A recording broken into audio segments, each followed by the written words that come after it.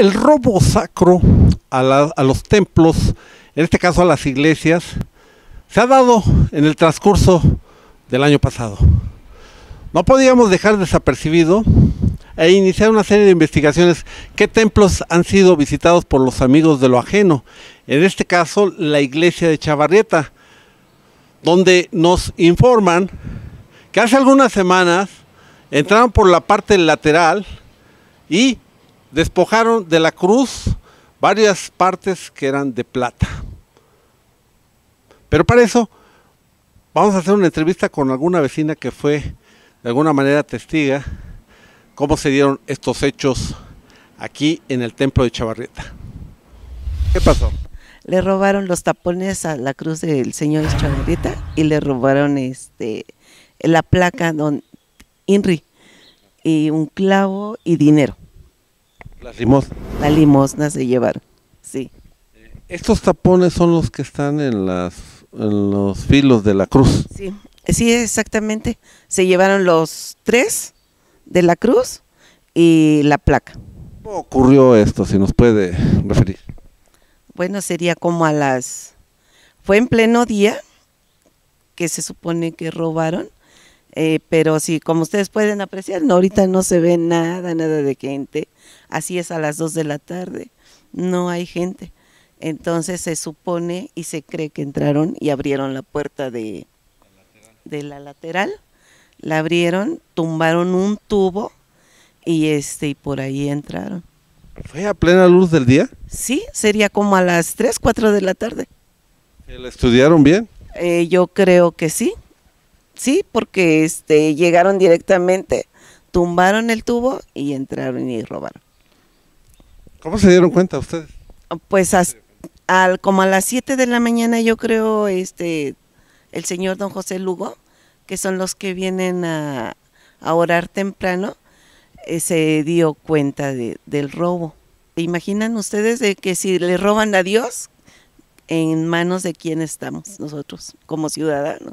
Después, ¿qué medidas se, se han tomado hasta el momento?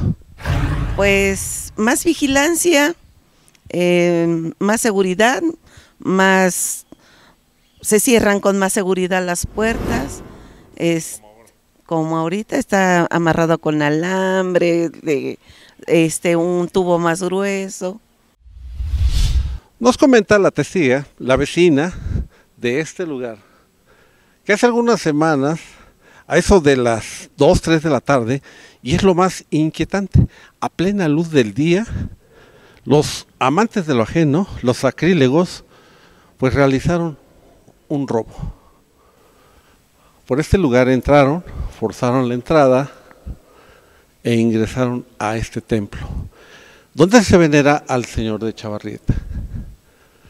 Estamos aquí en el altar y con todo respeto vamos a hacer una narrativa donde estos amigos de lo ajeno pues subieron hasta al altar donde está el Cristo del Señor de Chavarrieta. Ahí precisamente este, esta cruz en esta parte estaba forrada por plata. Aquí precisamente a un lado de la mano. Aquí, arriba de la, de la cruz, la, de la corona de espinas, estaba adornada con un letrero de plata, que también fue robado. Esta es otra de los lugares donde también estos ladrones quitaron también el revestimiento de plata. También en la parte de arriba le quitaron el forro de plata. Todo esto se realizó en plena luz del día al Cristo de Chavarrieta. Posteriormente vaciarían alcancías y más objetos de valor a este templo antiquísimo del siglo XVIII. Así las cosas aquí en Tasco. Robos a los templos, pues la verdad son, no hay palabras, es una ofensa que hacen a todos los devotos, en este caso al Cristo de Chavarrieta.